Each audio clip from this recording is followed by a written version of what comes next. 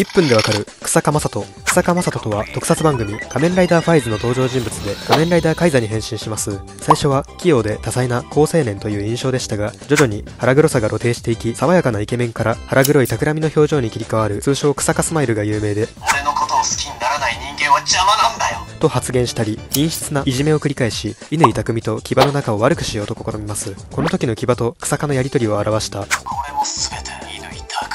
つの仕業なんだ。なんだって？それは本当かい？というコピペはネット上の様々な場所で乱用され CSM カイザギアの紹介動画でこのセリフをファンサービスで披露したりカイザギア本体にも収録されています。このような言動に対してテレビマガジンの記事では嫌いな奴を徹底的に攻撃する嫌な奴だと紹介されたり役を演じた村上康平さんですらもライダー史上最も性格のひねくれ曲がったヒーローと評されてしまうキャラクターになってしまいました。